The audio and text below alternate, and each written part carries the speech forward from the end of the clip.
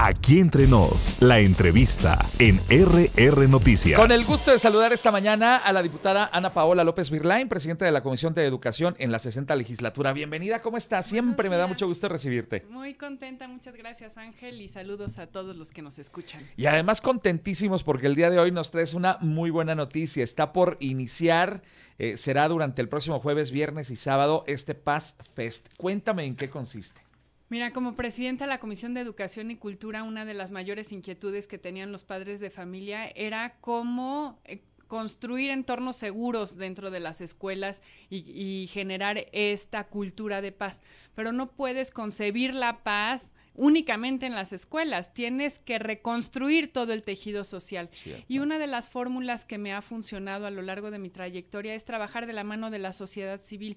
Hay muchas organizaciones, empresas, personas, instituciones públicas que están abonando a construir ese tejido social, pero no podemos seguirlo haciendo de manera aislada. Tenemos que vincularnos y todos somos responsables de una cultura de paz. Si algo tenemos en Querétaro, pues era justo esos valores comunes que compartíamos. Vivir en sociedad implica que todos hagamos algo para tener el, pues el nivel o la calidad de vida que, que pretendemos o claro. por la cual llegamos aquí a Querétaro. Entonces, lo primero que hice como legisladora fue aprobar la ley de cultura de paz en las escuelas, pero también, pues los maestros no pueden solos, los maestros necesitan la colaboración de todos nosotros. ¿Y qué vamos a hacer en este Paz Fest? Vamos a poner al servicio de la ciudadanía los servicios, programas, actividades, talleres e información uh -huh. que dan las organizaciones de la sociedad civil, que dan estas empresas con responsabilidad social y que dan las diversas instituciones públicas, para que tú como ciudadano vayas el día 23 de septiembre a la unidad deportiva de San Pablo y va a ser tipo kermés lleno de Qué stands, en donde en esos stands van a haber eh, servicios que te vas a poder llevar a tu escuela, talleres deportivos, culturales o artísticos, va a haber asesorías legales gratuitas, no para ese día, sino de manera permanente. Ah, va a haber servicios este, de apoyo y, y, socioemocional, va a haber actividades eh, pues recreativas en donde vas a poder pasar un muy buen rato. También van a estar, van a estar nuestras mujeres emprendedoras que hemos capacitado para que puedan iniciar su negocio, crecer su negocio. El chiste es hacer un, una red de paz, una red en donde todos contribuyamos a construir ese Querétaro que, que, deseamos y anhelamos, en donde están nuestros sueños, nuestras familias, y que si delegamos esa responsabilidad únicamente a las autoridades o al maestro de la escuela o al líder vecinal, pues estamos condenados pues no. a perderlo. Así es que este es un llamado a que somos más los buenos, pero nos tenemos que organizar, nos tenemos que unir, y ahí van a estar 33 organizaciones de la sociedad civil por las que meto las manos, que son gente de compromiso, son gente con vocación, son gente generosa que está dispuesto a ir a los rincones de todo nuestro estado a apoyar y a, llevar la cultura, el deporte y el arte a quienes no tienen la posibilidad de, de tenerlo. Está francamente eh, sensacional, la verdad es que me llama mucho la atención esta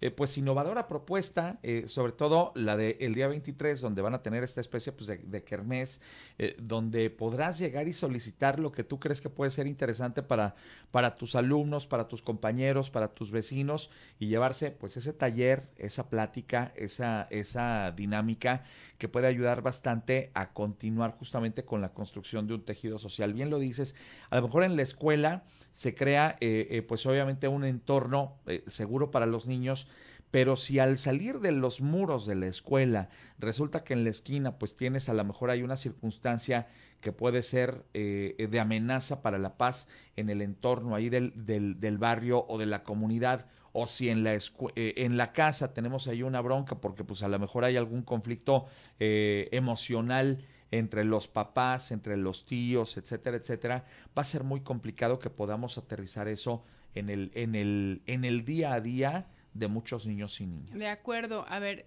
todos tenemos un papel fundamental y educamos con el ejemplo. La autoridad está obligada a generar el marco jurídico necesario para que articulemos todos los esfuerzos, pero también es responsabilidad de cada uno de nosotros abonar a esa cultura de paz. Desde que sales de tu casa y eres amable y cedes el paso y no te exaltas por cualquier cosa, es, es resolver los conflictos de manera pacífica. Eso es cultura de paz y eso es lo que estamos promoviendo a través del desarrollo de habilidades, de comunicación asertiva, de trabajo en equipo, de, pues estos valores que caracterizaban a los queretanos, de que, que barríamos nuestra calle, de que convivíamos y conocíamos a nuestros vecinos, de que nos cuidábamos entre todos. Así es que Querétaro es eso y más. Y este festival es justamente para mostrar qué estamos haciendo como gobierno y qué está haciendo la sociedad. Que nos integremos y digamos, yo voy a llevar todos estos servicios a mi colonia. Así es que es un momento en donde podemos presumir por qué Querétaro es como es. Es gracias a su gente y es gracias a la colaboración que hacemos todos en equipo. Diputada, si yo quiero conocer más de eh, toda esta, esta propuesta del Paz Fest, ¿dónde puedo encontrar más información? En mis redes sociales estoy como Ana Paola López B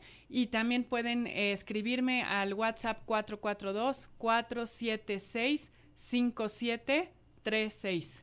Y con mucho gusto, ahí los esperamos en la unidad deportiva de San Pablo, de 11 de la mañana a 5 de la tarde. Va a haber conciertos, va a haber talleres, va a haber eh, un interescuadras, va a haber muchas actividades muy divertidas para que la pasen bien, pero sobre todo que quede claro que esta jornada no es de un, un solo día, es una jornada que lo que tú aproveches ahí te lo vas a llevar de forma permanente a tu colonia, a tu escuela o a tu centro de trabajo. Tómenlo en cuenta, amigas y amigos, y ahí nos vemos en la Unidad Deportiva de la San Pablo este sábado a partir de las 8 de la mañana. Se va a poner, eh, eh, eh, a partir de las 11, le puse yo aquí 8. A partir de las 11 de la mañana y hasta las 5 de la tarde se va a poner bien interesante. No se pierdan esta oportunidad de vivir este momento en compañía, por supuesto, de sus seres queridos y sus familias.